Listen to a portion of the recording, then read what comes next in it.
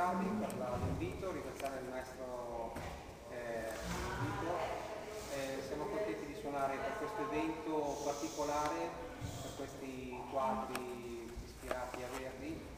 Noi abbiamo creato degli arrangiamenti, eh, chiaramente la stesura di Verdi è per sinfonico, corale, in grandi orchestre. Siamo riusciti in qualche modo, spero che siate apprezzarlo, abbiamo fatto degli arrangiamenti per due violini. Adesso eseguiremo dal Nabucco Va Pensiero.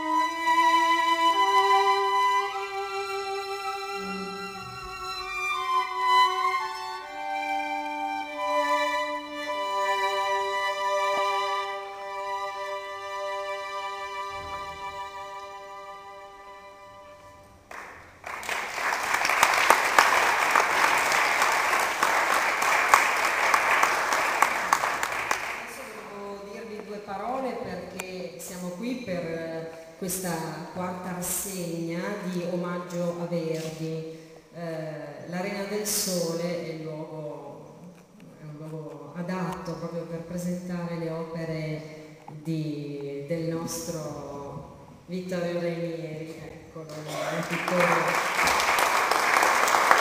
che finalmente espone le sue opere a casa propria perché vi dicevo è la quarta edizione ma prima già esposto a Cremona a Zibello e a San Secondo queste opere che potete ammirare, quadri, ognuno dei quali rappresenta un'opera del maestro Verdi. È riuscito poi abbiamo il, il nostro critico che ci parlerà eh, più accuratamente di, delle opere, ma già potete vedere che ognuna di esse rappresenta un'opera appunto del maestro Verdi, eh, sintetizzando in ognuna proprio delle le principali caratteristiche dell'opera stessa. Eh, qui noi abbiamo il piacere questa sera di ospitare eh, alcune delle persone e delle organizzazioni che hanno sostenuto e favorito eh, la, questa, questa, rassegna, omaggio a Verdi, innanzitutto eh, eh, c'è la rappresentanza del comune e quindi io adesso non lo vedo ma c'è l'assessore Bruno Pezzini, l'avevo visto, eh, visto qui, eccolo, vuole venire un attimo per cortesia, visto che Rocca Bianca è, la, il comune del, pittore e Rocca Bianca ha voluto questa arena del sole dove potete vedere, non so se, se siete già stati eh, in questo ambiente, ci sono le statue che vengono dal momento di Verdi a Parma, quindi forse questo è il posto proprio adatto per esporre questi quadri no? di Vittorio Ranieri grazie al Comune per averlo ospitato innanzitutto. Sì, innanzitutto buonasera a tutti e benvenuti nel Teatro Piano del Sole. Come diceva la nostra deliziosa presentatrice, crediamo proprio e abbiamo creduto che eh, questa location fosse l'ideale per poter eh, ospitare presentare a Rocca Bianca quest'opera del nostro concittadino, eh, nato nella famosa villa perché Sparta, citata da, da Giovanni Guareschi, quindi Fontanelle. Eh, anche questo è un curioso abbinamento se vogliamo. No? Eh, noi eh, tra Verdi e Giovanni Guareschi siamo un pochino, possiamo ritenerci anche un pochino un fulcro, un centro di cultura, no? magari un po' eterogeneo se vogliamo, però comunque sempre di un certo, di un certo livello. No, parlavo dicevo di Vittorio, eh, infatti lo ringraziamo per averci dato questa, questa opportunità di poter ammirare noi per primi, di poter far ammirare sia ai, nostri concittadini e a tutti i visitatori che poi transiteranno in questi due giorni, quest'opera importante che credo meriti effettivamente il miglior successo che si, possa, che si possa augurare. Grazie Assessore, grazie mille.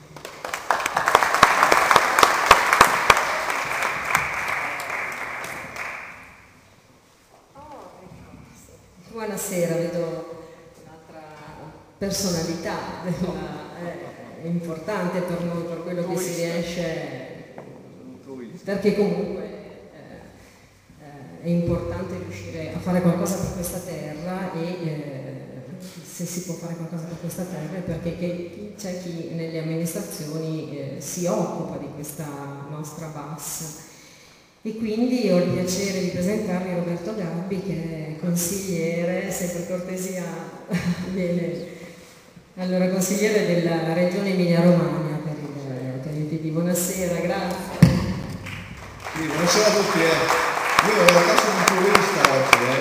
sono venuto a November Park, quindi sono qui per fare i complimenti intanto al comune di Rocca Bianca che ospita questa tappa, l'ultima tappa del November Park ma insomma, eh, voglio unire nelle, nei ringraziamenti tutti e quattro i comuni rivieraschi del Po per questa bella iniziativa che ormai è un successo nazionale e oltre. Speriamo che domani il tempo vi assista perché insomma, va bene un po' di freddo. Ma...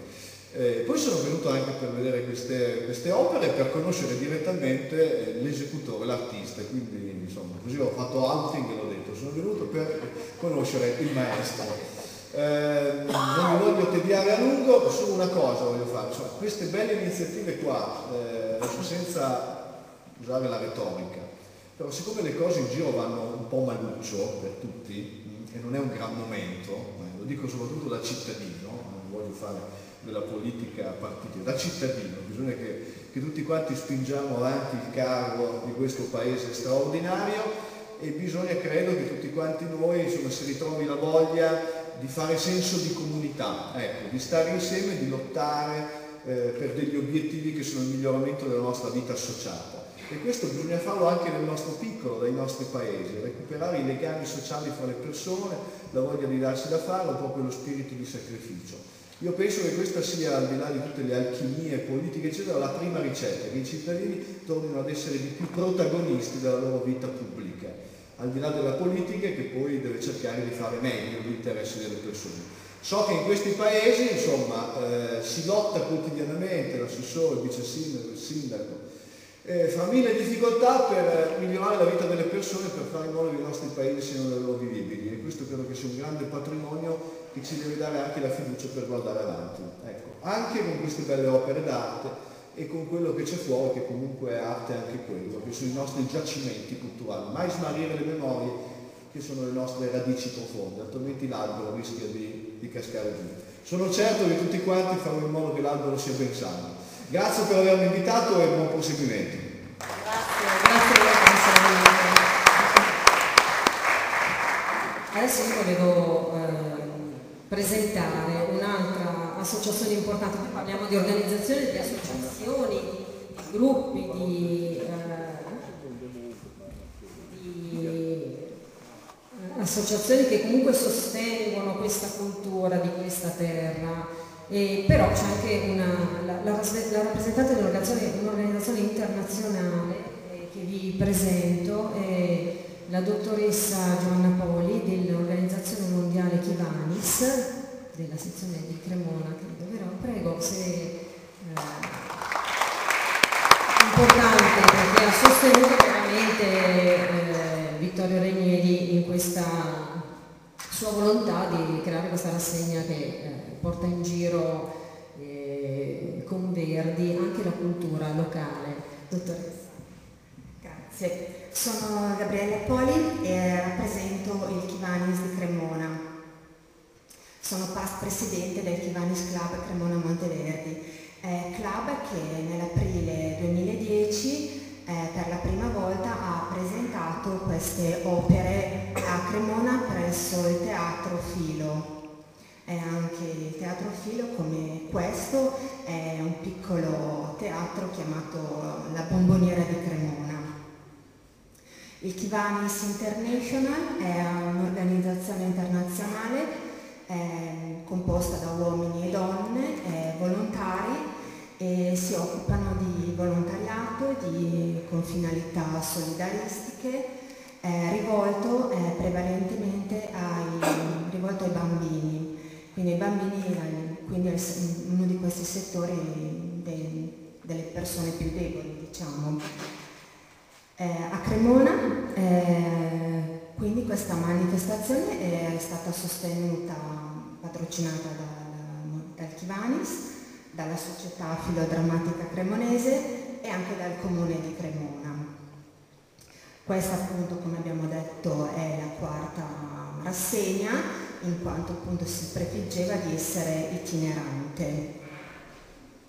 Eh, l'iniziativa rientra nell'attività del Kivanis di promozione della cultura e delle finalità solidaristiche del sodalizio. Infatti il nostro motto è Serving the Children of the World. Adesso lascio la parola per proseguire i lavori. Grazie, grazie. Poi se si parla del maestro Verdi non si può non parlare Club dei 27, allora io inviterei il presidente, il trovatore, posso invitarla a dirci due parole in questo... Giovanni Reverdo. Grazie, buonasera a tutti.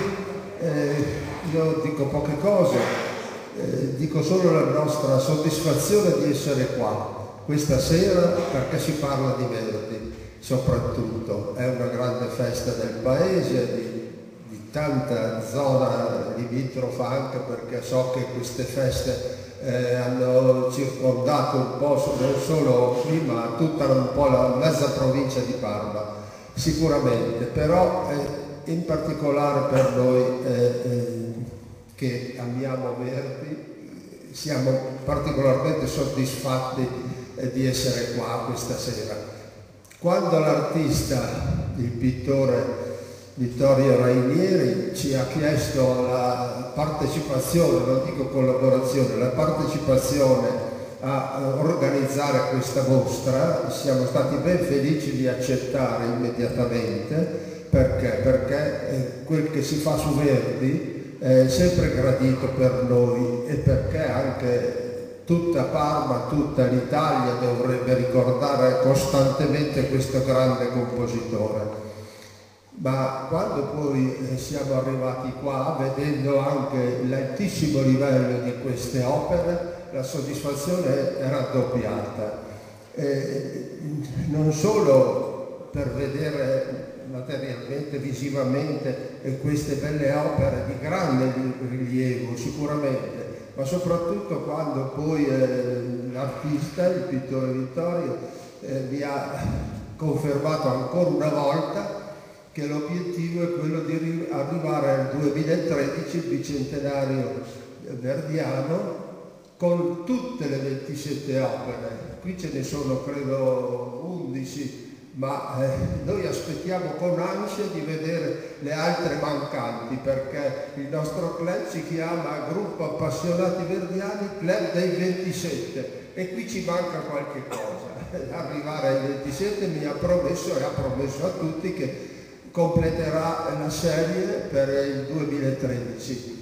L'altra soddisfazione che devo ammettere, perché è un'ammissione la mia, è quella di venire a vedere questi quadri di grande livello, di grande rilevanza artistica, nell'unico teatro al mondo che può proporre nove statue originali del monumento a Verdi che qualche malsano ha voluto distruggere perché io lo vidi dopo il bombardamento, non era affatto distrutto.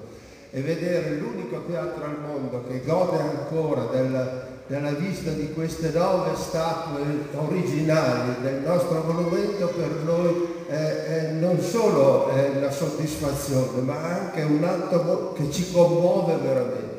Grazie soprattutto a Rocca Bianca che ha avuto la forza, il coraggio e l'intelligenza di recuperare queste statue. Grazie a tutti.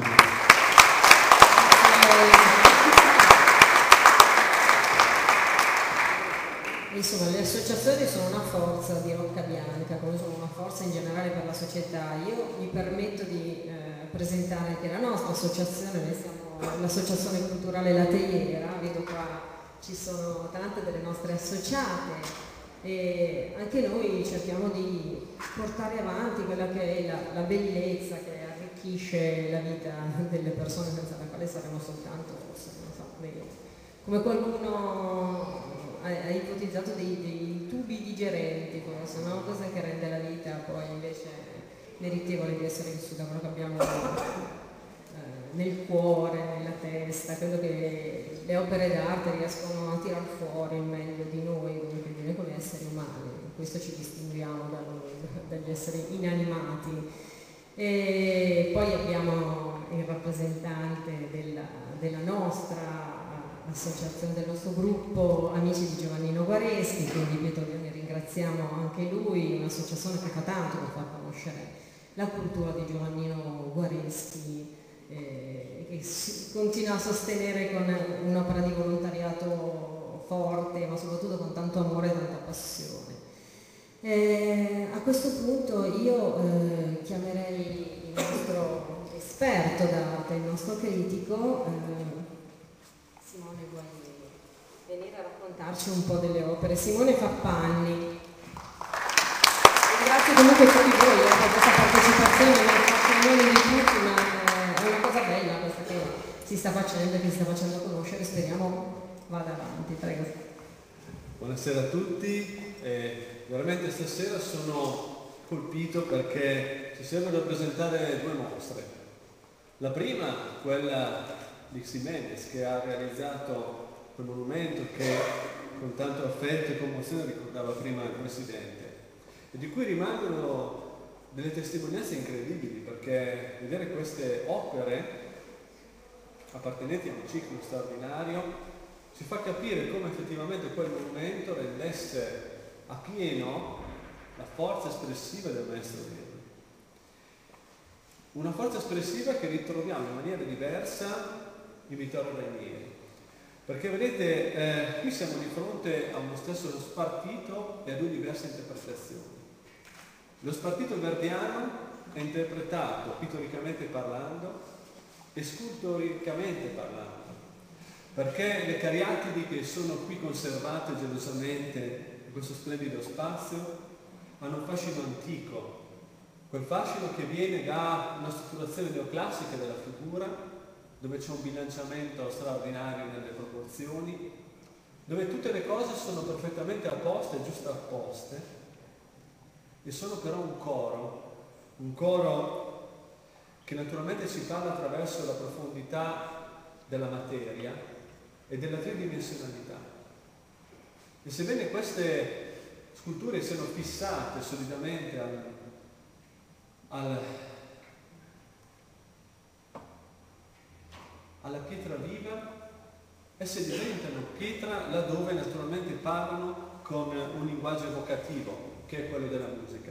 Un linguaggio che è visivo, visuale, ma soprattutto mentale, come lo è sicuramente quello di, di Vittorio Rainieri, un artista che si è preso la briga di eh, tradurre con la sua arte ciò che è il messaggio profondo di Verdi, vale a dire la trattazione di un tema universale, che è quello delle, dell'umanità e dell'uomo. L'uomo che è fatto di passioni, di grande amore, di tristezza, di gioia, insomma Verdi è tanto amato, io credo, da, da tutti, perché pur parlando attraverso i volti, gli sguardi, le parole, le note di personaggi inarrivabili talvolta, riusciva però a tradurre attraverso la sua musica immortale eh, tutto in un linguaggio estremamente comprensibile. E è quello che fa naturalmente Vittorio. Lo fa perché eh, secondo lui la comunicazione immediata è quella che viene dal, dal segno dipinto, un segno che naturalmente trova eh, concatenazione laddove a ogni certezza si pone la fierezza dell'opera verdana. Lo stesso Verdi ci mette sulla strada e dice che copiare il vero può essere una buona cosa, lo scrive a Clara Maffei nell'ottobre del 1876. Ma inventare il vero è meglio, molto meglio. Inventare il vero è la parte centrale di questa mostra, la parte centrale attorno a cui ruotano questi dipinti che fermano un istante dell'opera verdiana, ma la fermano non per fissarla e lasciarla lì dov'è, ma perché sembra che da un momento all'altro essa continui, come peraltro avviene nelle sculture che vedete esposte in questo teatro, dove i passi sono leggeri e i suoi movimenti sono appena accennati. Infatti tutte le opere che qui vengono presentate, nei dipinti di Verdi, hanno questo movimento, un movimento estremamente naturale, appena accennato a volte, dinamico. Osservate la postura delle gambe e delle braccia, che è fortemente evocativa, talvolta quasi supera quella del volto. Gli artisti veramente superiori, dice ancora Verdi, giudico senza pregiudizi di scuole, di nazionalità, di tempo. Se gli artisti del nord e del sud hanno tendenze diverse, è bene che siano diverse.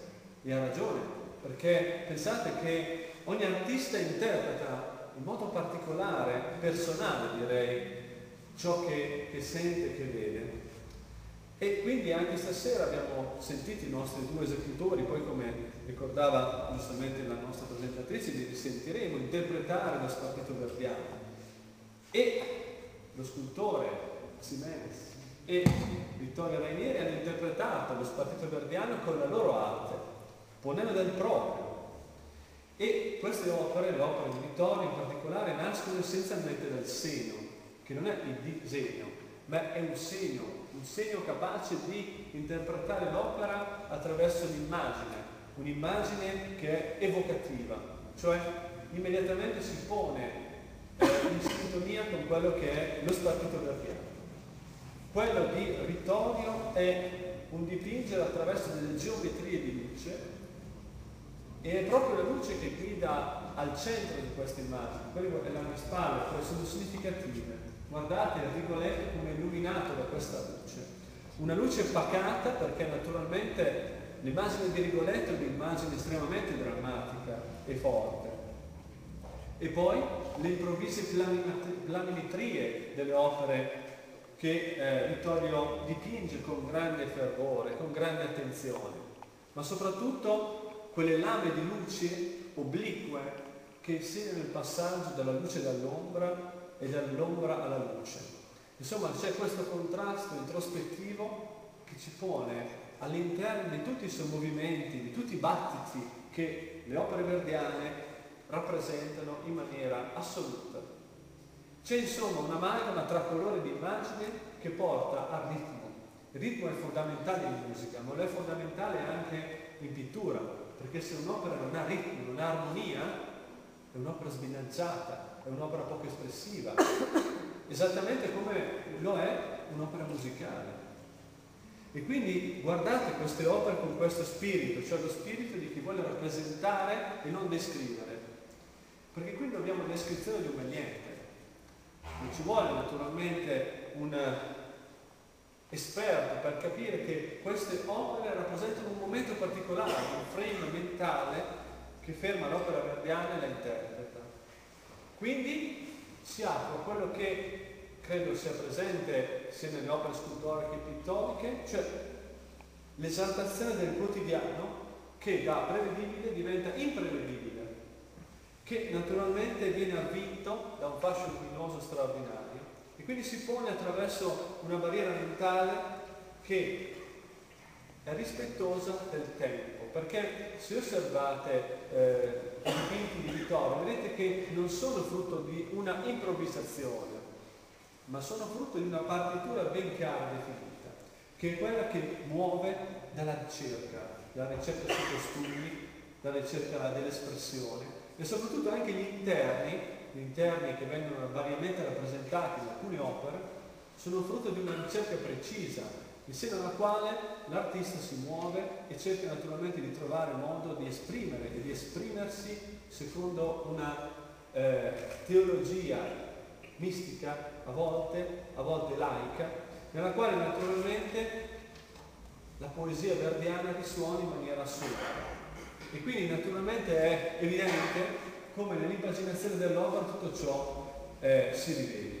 Se osservate con me l'opera che rappresenta Rigoletto, vedrete tutto quello che vi ho detto in sintesi. Innanzitutto a guidarci è questa lama di luce che ci porta direttamente al volto di Rigoletto, ma che sinistramente ci porta in basso, dove sapete che cosa contiene quel sacco, ma non lo sa.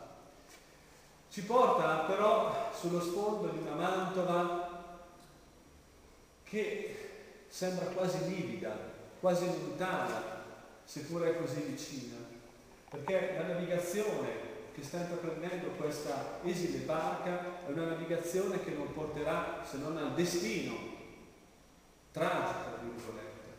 E questa è una rappresentazione fatta attraverso il colore e l'immagine attraverso questo gioco prospettico per cui il primo piano è talmente primo piano da immergersi completamente nel, nel dipinto, mentre il secondo piano è dipinto con colori lividi, talvolta plumei, perché naturalmente ci si riferisce alla situazione drammatica che Rigoletto sta vivendo che vivrà ancora di più di lì a poco. Questa poi è un'opera per contrasto, perché perché giullare teoricamente deve far ridere. E quindi invece no, da un personaggio che deve far ridere diventa una maschera tragica, una, una maschera malinconica.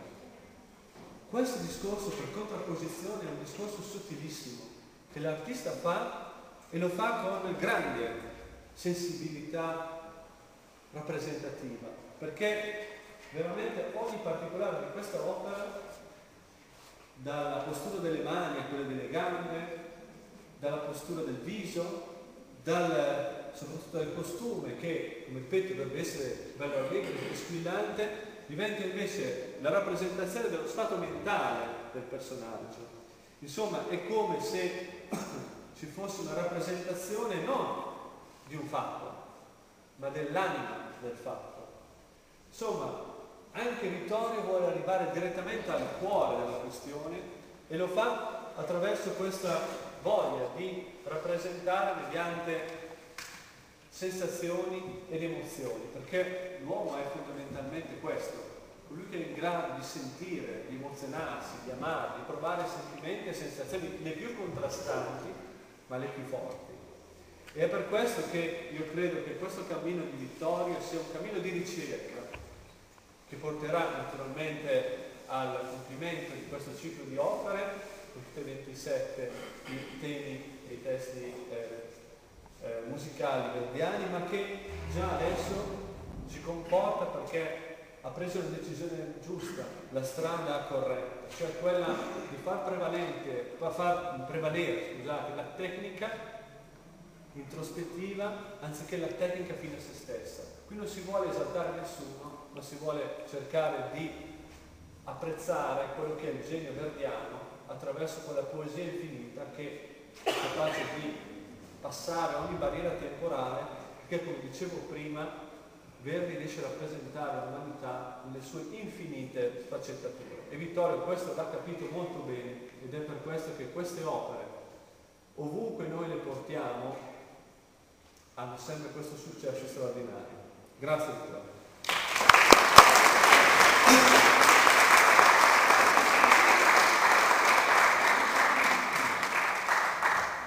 Cedo la parola alla nostra presentatrice e vi ringrazio ancora per l'attenzione.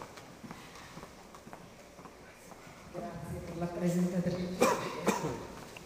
Sono un'amica più che altro sostenitrice. Io eh, vorrei ancora, mm, prima di farvi ascoltare ancora questa bella musica, volevo chiamare la, la Presidente dell'Associazione ITER, se per cortesia vuole dirci due parole anche della vostra associazione. Grazie. Buonasera. Buonasera, io rappresento in rappresentanza dell'Associazione Culturale Inter di Parma, mi chiamo Patrizia Patera ne sono la Presidente. La prima cosa che ci tengo a dire è che la nostra associazione è un'associazione non profit, quindi è un'associazione che crede veramente nella divulgazione dell'arte nelle sue varie espressioni.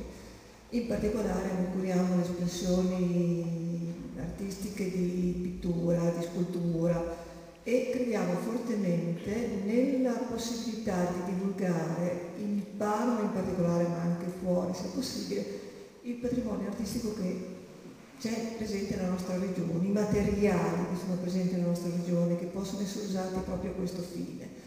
E infatti abbiamo organizzato mostre di vario livello uh, di, di, di, pittura, ma anche abbiamo organizzato dei simposi internazionali di cultura nella montagna della provincia di Parma e eh, un altro scopo importantissimo è quello di aiutare anche i giovani a entrare in questo mondo che è molto difficile per loro poter mancare. E abbiamo organizzato delle esperienze di laboratorio creativo e anche di stage in scuole di eh, cava, in direttamente, sempre sotto la direzione di artisti affermati. Per cui conoscere un altro artista come Vittorio Ranieri ci ha fatto enormemente piacere Abbiamo visitato le sue opere su suo invito, le abbiamo apprezzate e eh, ci sono piaciute. In particolare però quello che ci ha colpito è la forte cadenza che questo artista ha dimostrato nella sua arte e nella capacità di parlare, di dialogare, come eh, sicuramente ha espresso meglio il critico che mi ha preceduto, queste opere, quindi di dialogare con la sua arte. Ha voluto e penso che abbiamo, secondo noi, ha saputo veramente trasmettere quello che il grande maestro ha voluto dirci con le sue opere e lui con la sua arte. Ci ha convinto anche il suo progetto, ci ha convinto perché non solo lui vuole fare una mostra itinerante in luogo provinciale, ma oltre la provincia, oltre la nazione. Ci piacerebbe molto poterlo aiutare, però aiutare questi progetti vuol dire anche trovare ahimè, risorse. Mi dispiace che sia andato via eh, il consigliere regionale Carpi perché è vero che lui ha accennato a un problema, ma glielo volevo confermare. Il problema che ha accennato è veramente molto forte. La cultura in questo periodo è un periodo brutto di crisi, lo sappiamo.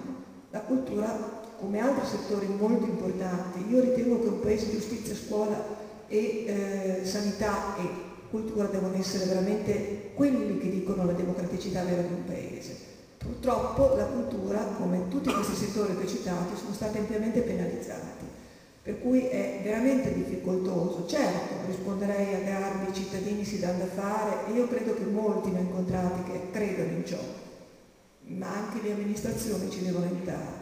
Fortemente e io trovo molta difficoltà, devo dirlo, molta molta difficoltà e nei comuni, mi dispiace dirlo ma è vero, e anche nelle autorità più grandi. Non è colpa loro, la crisi chiaramente ha inciso anche su di loro, però senza queste risorse finanziarie si può fare non tutto il sogno di Vittorio Ranieri a cui auguro veramente invece di riuscire a farlo e mi auguro di poterlo aiutare. Grazie. Vittorio, allora devi un attimo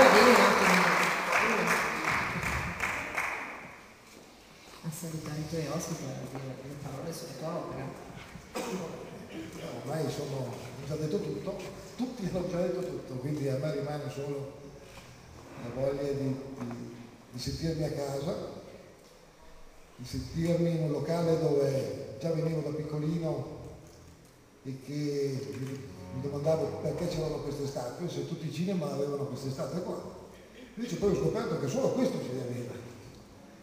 E la ricerca poi diventando grande inevitabilmente mi ha portato a scoprire eh, il perché di queste statue, a che cosa erano servite, eccetera, eccetera. E guarda caso, dopo tanti anni è venuta questa, questa voglia, questa voglia di rifare non più in pietra ma in pittura, rifare questo monumento che è sparito, simbolo di Verdi, che la città aveva voluto donare a Verdi in suo ricordo nel 1920 e che nel 1944 è stata distrutta. Quindi c'è la voglia di rifare tutte e 27 le opere, come erano più, ripeto, in marmo ma in pittura. E queste qui sono le prime 11, le prime 10, diciamo, 11. Io spero nel 2013 di riuscire ad averle tutte e 27 perché la mia idea sarebbe quella di andare a esporre proprio davanti alla stazione ancora come almeno nel momento della, del bicentenario verdiano del 2013. Sarebbe, penso, una cosa che dal 1944 nessuno più si ricorda che è esistita una cosa del genere. Niente, io adesso comunque ringrazio tutti quelli che sono intervenuti, tutti quelli che hanno eh, parlato di me e di quello che è stato fatto. Io spero che la serata vi sia vi stia piacendo, poi magari ci sarà un rinfresco, piccolo rinfresco poi al termine di tutta la, serata. E adesso passerei la parola alla presentatrice perché eh, dovrebbero arrivare i suonatori che suonano ancora. Grazie. L'ultimo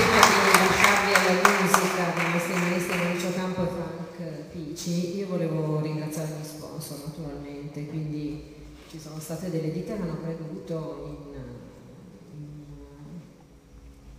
in Vittorio e citarli perché sono Franco Bersellini, Luciano Antonioli, Paolo Bevilacqua, sono Fausto Bocelli, la Tecnocome, la Diamant e la Goimeta, poi ci sono le associazioni che abbiamo già citato, quindi Tivani, Sclepo dei 27, gli Amici di Guaresti, l'Avis di Rocca, il Circo degli Amici e l'associazione ITER. Adesso è il momento della musica che è la protagonista, comunque ecco, chiedo ai nostri maestri quindi di venire sul palco a suonarci ancora. La musica, buon ascolto.